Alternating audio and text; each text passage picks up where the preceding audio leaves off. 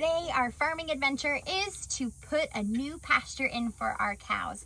The cattle are currently in a small pasture and they have eaten out a lot of the pasture. So we're moving them to a new section so they have plenty to eat. And right now we're just putting in these fence posts. Um, they're hot fence and we're gonna run some wire across there and it's solar powered, solar powered. Uh, so it will constantly stay uh, nice and hot for them. It doesn't hurt the cattle or anything, but it just lets them know to keep them in. And they're pretty trained in order to know not to leave this area. So when they see the hot fence, they know not to leave it, which is really great for us. Um, so we don't have cattle getting out all the way. And they're super easy to put in. So Ben, I'm going to turn you around and show you what Ben is doing. So Ben counts how many feet, steps estimated of where he wants to go. And then I drive up give him another stick to place into the ground, and we do the process all the way over again. Winston is just harassing the sheep underneath the trailer. The sheep love sitting underneath the trailer lately because it is just so hot. It gives them, they could be in the barn, but they choose to go underneath there. So that is pretty silly of those little guys. Rupert's on the outside. You can see him back there. He just watches over everybody. The sheep have learned not to mind Rupert, I mean mind Winston as much anymore. You're doing great, Ben.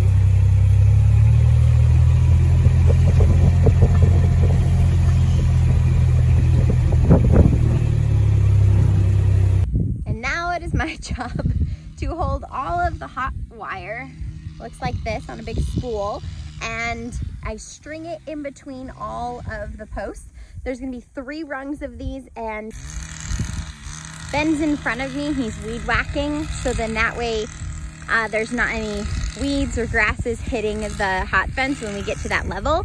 If there is, then it shorts out the fence and then it doesn't work. So we have to make sure that it's nice and low when we are doing all this.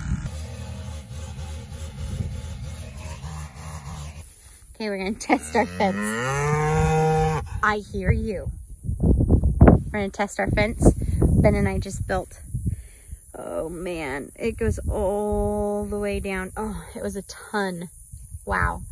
So we're gonna go test it, make sure that it is actually gonna work before we move them on there. But these guys are ready. They have eaten quite a bit of this field down. okay, Ben, test it.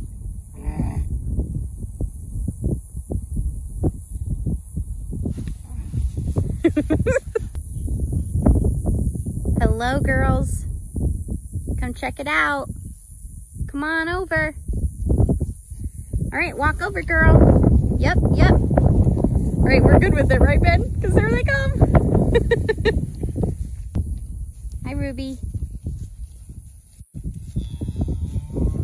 You got it, Maggie. There's Duncan. That's her little baby.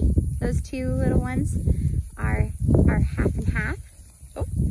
I didn't see Emmett.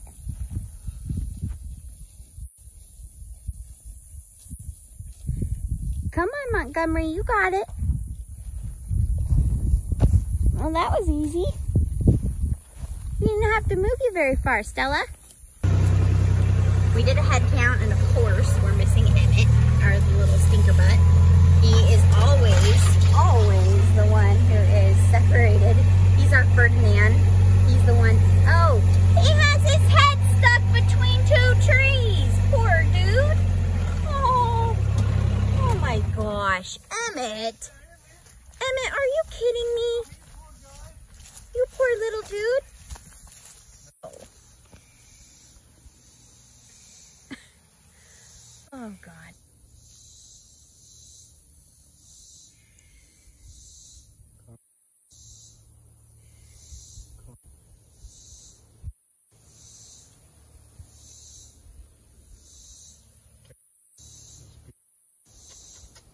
help you.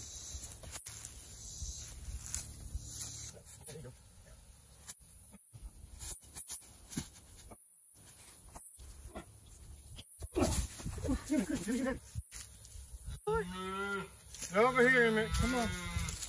Come on. Come on.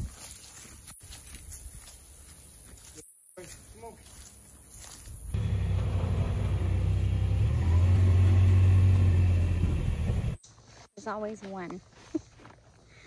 We're walking to put Emmett back. He is such a stubborn, he's so stubborn. You want, you want him to go one way, he goes the other. He's the only calf. Everybody else is good. Super easy. Always Emmett. You can see we've already circled back. This was the spot we found him. He's our calf that was born in Idaho and the day that we were moving. We had to load him onto a truck. We weren't quite sure if he was gonna make it. But he just does his own thing. Little guy, he's so calm. He loves to be by himself. He loves laying in the trees and the flowers, hence why his head was stuck. he's all good. We checked, we made sure, so he hasn't, he's only been there for maybe a couple of hours because we've been out here, we've seen them all, so nothing to worry about. He doesn't have any scratches on him, only like a little bit of rub marks behind his ears, but that's all. He's good to go.